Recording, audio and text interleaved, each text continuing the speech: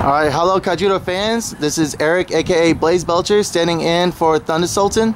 Uh, we are here in Jenks, Oklahoma at Alien Games, and I'm here with the owner. I'm Karen Anderson, and we've been here since about, well, since January of 2010. And we had a fire, and we rebuilt and have a brand new building now. Um, we've been back open for here for about a year, year and a half. Um, in the meantime, we were down at Riverwalk and had a store down there.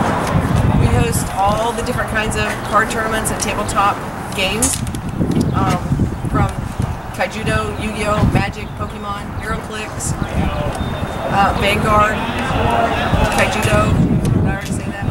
Um, um, just anything, anything that anybody wants to come in and play. And Um, and uh, what days are your Kaijudo events at the moment? Kaijudos are on Wednesdays at 6.30 and they're for $2 and we do one pack per entry in the prize pool. All right.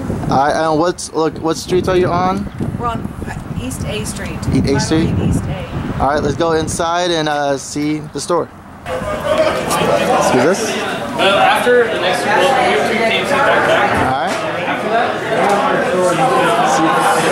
Seems a lot of room, a lot of tables. Yeah, we can hold about 150 people. Okay. And this is the first area is where we're doing the uh, Kaijudo Master Challenge today. And we've got a two-fate right now that's getting ready to play. This is Vanguard, the next table. And then we have some casual tables that people are kind of running around. Yes, we, uh, and we have a cell table. And this is, of course, International Tabletop Day, so these are all people playing board games and things like that. Okay. And Clyde is the one who's handling the board games. All right. How's it going? Hi, Alien Games Tabletop Club. Uh, a year ago, uh, the people from Geek and Sundry and Tabletop, Wil Wheaton and Felicia Day, started a thing called International Tabletop Day. My wife and I came out to play, and uh, that, began a thing. We started doing it every Monday night, and this is our one-year anniversary. Nice. International Tabletop Day 2014, and we have a massive turnout, and it's just wonderful.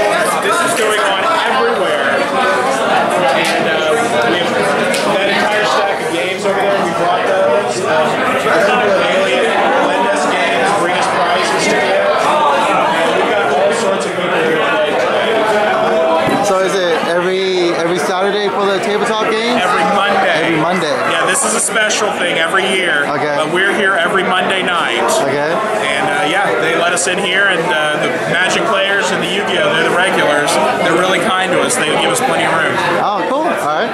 Well, if you're ever in Jenks, Oklahoma, please stop by and show your love. Uh, like, comment, subscribe, everybody, and we'll see you next time.